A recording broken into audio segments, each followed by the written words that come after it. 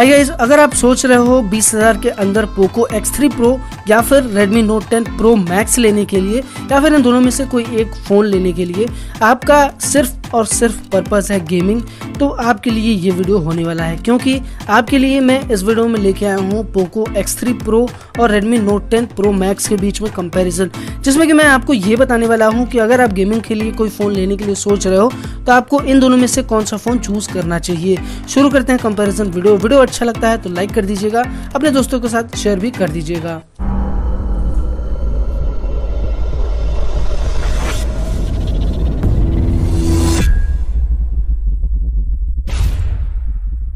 सबसे पहले तो मैं आपको बता देना चाहता हूँ, जो पोको एक्स थ्री प्रो है, ये अभी जस्ट लॉन्च हुआ है। और अगर आप इसको कंपेयर करोगे Redmi Note ten Pro Max से तो आपको काफ़ी कुछ सिमिलरिटीज़ देखने को मिलने वाली हैं। अगर मैं डिज़ाइन की सबसे पहले बात करूँ दोनों ही फ़ोन्स की, दोनों ही फ़ोन्स आपको डिज़ाइन के मामले में बेहतरीन फ़ोन तो देखने को मिल जाएँगे ही। लेकिन Redmi Note 10 Pro Max में आपको ग्लास बैग देखने को मिलता है, जबकि पोको X3 Pro में आपको प्लास्टिक बैग देखने को मिल जाता है।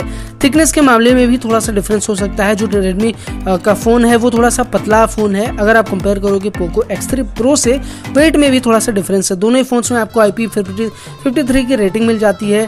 डुअल स्पीकर्स मिलते हैं IP53 की रेटिंग भी मिल जाती है। तो मतलब दोनों ही इक्वल है, थोड़ा सा ग्लास मटेरियल है इस हिसाब से मटेरियल बिल्ड मटेरियल में थोड़ा सा डिफरेंस आपको देखने को मिल सकता है दोनों ही फोन्स में।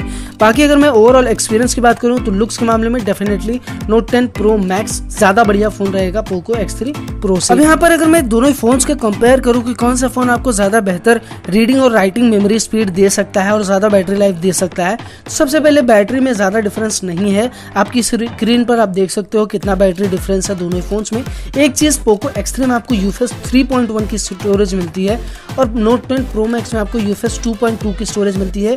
तो डेफिनेटली मेमोरी रीडिंग और राइटिंग स्पीड में आपको पोको X3 Pro से बेहतर नोट 10 Pro Max नहीं मिल सकता है। और रही बात बैटरी लाइफ की सवाल तो बैटरी लाइफ भी आपको Redmi Note 10 Pro Max में ज़्यादा मिलेगी।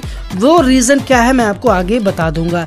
अब अगर मैं कैमरा की बात करूँ तो कैमरा आपने देखा होगा, जो Note 10 Pro Max है, इसमें आपको 108 मेगापिक्सल का कैमरा देखने को मिलता है। वहीं पोको X3 Pro में, जो जस्ट लॉन्च हुआ है, इसमें आपको 48 मेगापिक्सल का प्राइमरी कैमरा मिलता है। सेल्फी के लिए इसमें आपको 20 मेगापिक्सल कैमरा मिलता है, जबकि Note 10 Pro Max में आपको सेल्फी के लिए 16 मेगापिक्सल का कैमरा देखने को मिलता है।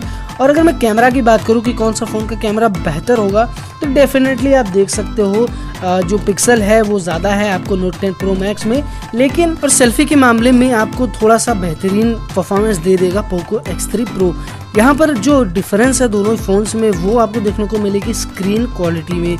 यहाँ पर अगर आप देखोगे तो प्राइस डिफरेंस ज़्यादा नहीं है तो बेहतरीन स्क्रीन की अगर मैं बात करूँ तो सबसे पहले मैं आपको कुछ रीडिंग्स दिखा देता हूँ यानी कि जो स्पेसिफिकेशन हैं स्क्रीन की वो दिखा देता हूँ। डिस्प्ले के मामले में साइज़ में आपको डिफरेंस नहीं देखने को मिलेगा। हाँ जो नोट टेन प्रो मैक्स है ये आपको सुपर एमुलर डिस्प्ले दे, देता है जबकि आईपीएस एलसीडी आपको देता है पोको एक्स थ्री प्रो बाकी टच रिस्पॉन्स और बाकी रिफ्रेश रेट में कोई भी डिफरेंस देखने को नहीं मिलता है और भी स्पेसिफिकेशंस में डिफरेंस नहीं मिलता है।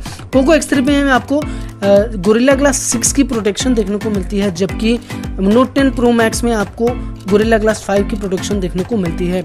यहाँ पर अगर मैं स्क्रीन क्वालिटी की बात करूँ तो स्क्रीन क्वालिटी के मामले में कुछ लोगों का ये कहना है कि जो पोको एक्स है, वो बेटर परफॉर्म कर रहा है। अगर आप कंपेयर करोगे नोट टेन प्रो मैक्स से तो मैं भी उसी के साथ जाऊँगा क्योंकि आगे मैं आपको बता दूँगा जो चिपसेट है, दोनों ही फ़ोन्स में, यानी कि जो पोको X3 में जो चिपसेट लगा हुआ है, वो थोड़ा सा बेहतर आपको परफॉर्मेंस दे दे देता है गेमिंग के मामले में। यही नहीं, आपको स्क्रीन क्वालिटी के मामले में भी जो डिफरेंस देखने को मिलेगा, वो भी देखने को मिलेगा चिपसेट के हिसाब से। अगर मैं यहाँ पर परफॉर्मेंस की बात करूँ चिपसेट की भी बात कर लेते हैं तो दोनों ही फ़ोन्स में आपको चिपसेट मिलता है स्नैपड्रैगन का। आपको पोको एक्स थ्री में जो चिपसेट मिलता है, वो मिलता है स्नैपड्रैगन का 860 और नोट 10 प्रो मैक्स में आपको स्नैपड्रैगन 732G बाकी दोनों ही फ़ोन्स एंड्रॉयड 12 पर मिलते हैं और एड्रीनो 640 आपको पोको एक्स थ्री में मिलता है और आपको जो एंड्रॉयड 11 दोनों ही फ़ोन्स में देखने को मिल जाता है। गेमिंग के मामले में पोको X3 से बेहतर फ़ोन आपको बीस हज़ार के प्राइस में नहीं मिलेगा। कोई भी अगर आप कंपेयर करोगे तो। जहाँ तक मुझे मालूम है, पोको X3 से बेहतरीन आपको परफॉर्मेंस कोई भी फ़ोन नहीं दे पाएगा। एक चीज़ और आपको देखनी चाहिए, जो पोको X3 है, इसका जो यूआई है, ये थोड़ा सा लाइट है। अगर आप कंपेयर करोगे नोट टेन प्रो मैक्स से, और इसमें आपको एड्स भी उतनी नहीं मिलेगी जितना कि आपको नोट टेन प्रो मैक्स में देखने को मिलेगी। मैंने बैटरी की बात की थी कि बैटरी लाइफ आपको किसमें ज़्यादा मिलेगी। तो एक चीज़ आप देख लो बैटरी लाइफ डेफिनेटली आपको पोको में उतनी ज़्यादा नहीं मिलेगी जितना आपको नोट टेन प्रो मैक्स में मिलेगी, क्योंकि नोट टेन प्रो मैक्स में आपको सुपर एमोलेड डिस्प्ले मिलता है, जो कि बैटरी बहुत ही कम खाता है। और आपको पोको एक्स में ये आपको इसमें आई पी मिलती है तो बैटरी लाइफ इसमें आपको उतनी नहीं मिलेगी जितना कि आपको नोट टेन प्रो मैक्स में देखने को मिलेगी। तो ये था वीडियो वीडियो अच्छा लगा हो तो लाइक कर दीजिएगा थोड़ा सा शेयर कर दीजिएगा और हमारे चैनल को सब्सक्राइब करके नोटिफिकेशन बिल को ऑल पे करना मत भूलिएगा।